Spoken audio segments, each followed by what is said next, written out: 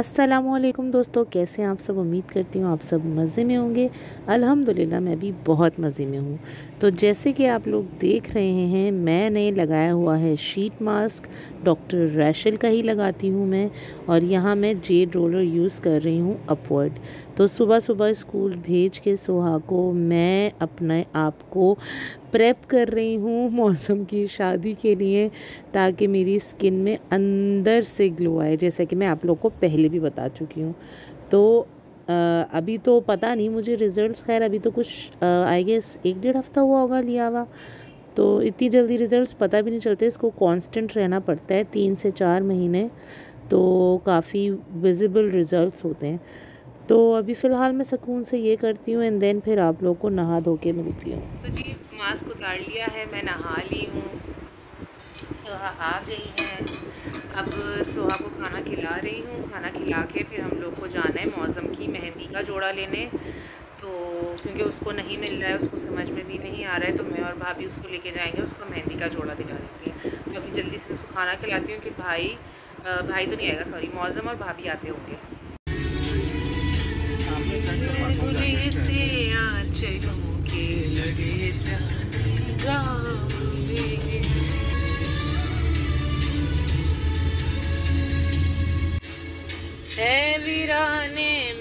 बदलते देखे मन के बाग भी।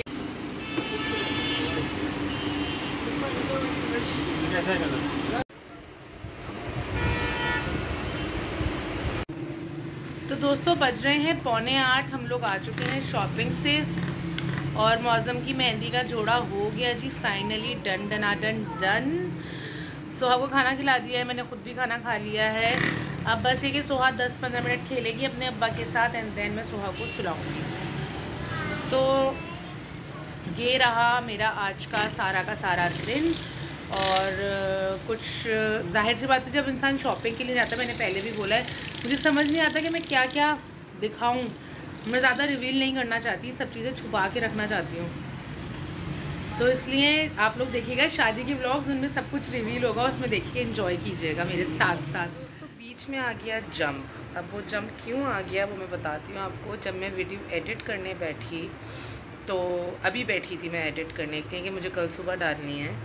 तो मैंने टाइम लाइन देखी तो वो two minutes forty one seconds की वीडियो बन रही है। क्योंकि जब बाज़ार में थी तो मैं सोहा को देखना सोहा बहुत डेंजर बच्ची, वो हाथ छुड़ा के कब में निकलती है ना पता ही नहीं चलता। माशाल्लाह बहुत एक्टिव है पर कभी कभी मेरे लिए बहुत रिस्की और डेंजरस हो जाता है। तो इस वजह से मैं कंसंट्रेशन मेरी सारी उस पर होती है एंड देन शॉपिंग कर रहे थे तो उस पर भी थी। तो इतना व्लॉग मैं नहीं रिकॉर्ड कर पाती। आपने अमूमन देखा होगा हल्का फुल्का एक आध कोई क्लिप आ जाती है शॉपिंग की तो आ जाती है, वरना नहीं हो पाता। सोहा बहुत छोटी है और मुझे बहुत डर लगता है कि जैसे हालात है ना, बस मेरी नज़र ना बचे उससे। तो मैंने सोचा, यार, ये वीडियो तो बहुत छोटी हो रही है तो अब मैं क्या करूँ?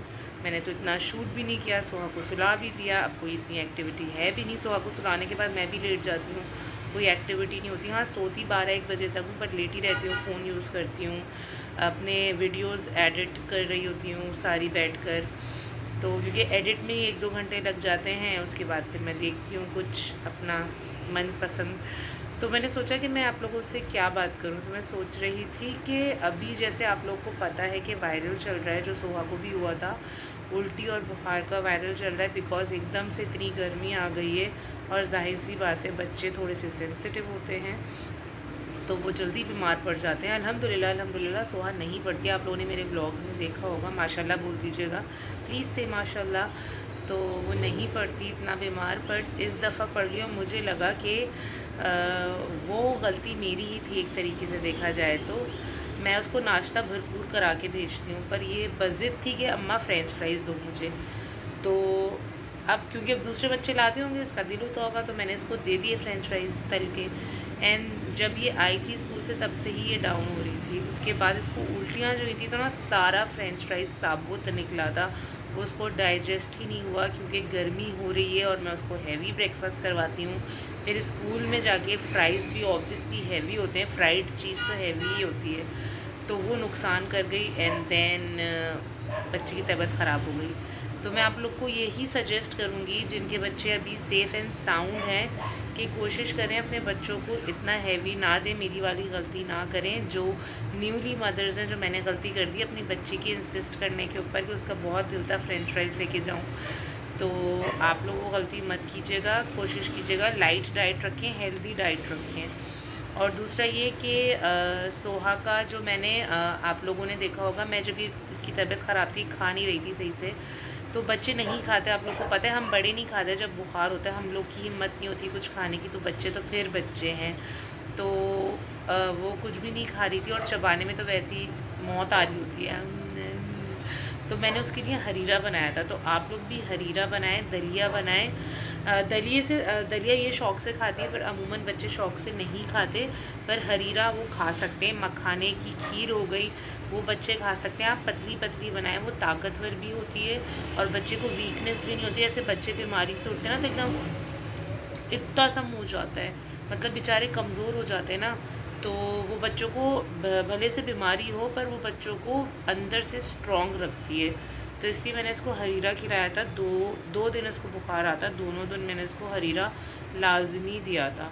उसके अलावा ये हल्का फुल्का जो भी खा रही थी, वो खा रही थी, पर मैंने इसको हरीरा ज़रूर दिया था। तो बस यही कहना था आप लोगों से। तो ब्लॉग को एंड करते हैं। आई होप आप लोग को आज का ब्लॉग भी अच्छा लगा। हो दुआ में याद रखिएगा। अपना ढेर सारा ख्याल रखिएगा। आप सभी को ढेर सारा प्यार। अल्लाह हाफिज़।